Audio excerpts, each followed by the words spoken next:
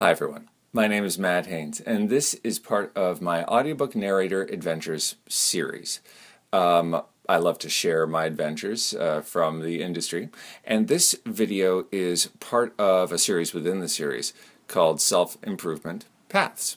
Um, and uh, what it is, is a mantra or a practice that I take on each week that helps moving forward in my career and in my life a little bit easier and a little bit more fun. Now, what I'm going to share with you comes from my process as a narrator, but I believe that these paths that I'm sharing can be applied to just about any life process or work process or self improvement process. That's what I think. You let me know if it works for you.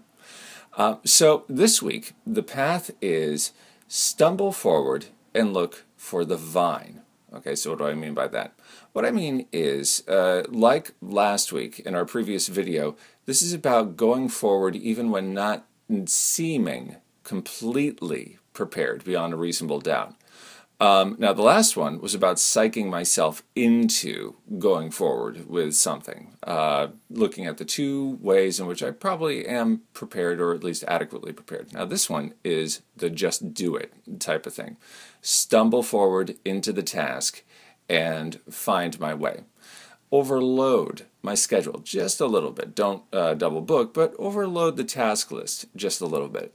Make it a little bit ambitious and show up, show up, show up on time to what I decide to do, even if I don't think that I'm ideally prepared.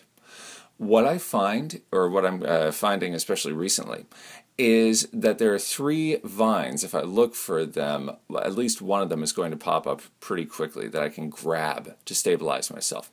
The first one is there might be an opening in my schedule that happens during the week. Somebody cancels an appointment, um, and then I've got this time that I needed to accomplish another thing.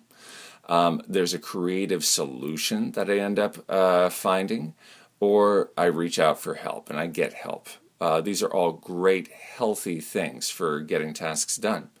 Uh, let me give you a more elaborate example. Let's say that I've made an agreement with myself to get into the recording studio at 8 p.m., start recording at 8.15, and um, um, um, but wait a second, I only have uh, two chapters uh, completely prepped with my notes of the text. So chapters one and two are prepped, but chapters three and four aren't. And what am I going to be doing? I'm going to be wasting time while in the studio prepping chapters 3 and 4. I should really just prep chapters 3 and 4 now and then go into no no no no no no no no. You made an agreement, get into the studio, you have your goals, you'll find a vine. Look for it. Okay. So, I stumble in, I get started on chapters 1 and 2 and then oh, look, a vine that I can grab onto.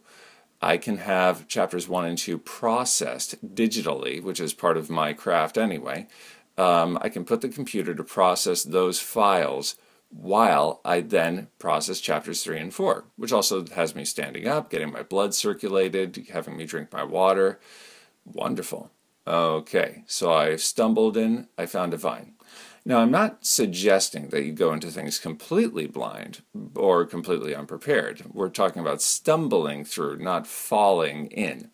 But the idea of being prepared just enough, and then there's something kind of unprepared uh, in the uh, uh, in the final preparation phase. It's almost like you don't have the full thing mapped out. It's not as if it's already done and all you have to do is do it there's a little bit of X factor. And uh, if you need to be somewhere on time, if you really want to get something achieved and are uncertain as to whether you have enough prep for it, stumble forward into it and you'll probably find a vine and probably one that's a lot more effective uh, in getting your way to the path, through the path, than if you had simply mapped things out more carefully. That's what I'm going to do this week. I'll be getting back to you with my results. Uh, you get back to me with yours. Thank you for joining me on this week's adventure, and I hope that my voice and your ears meet again real soon.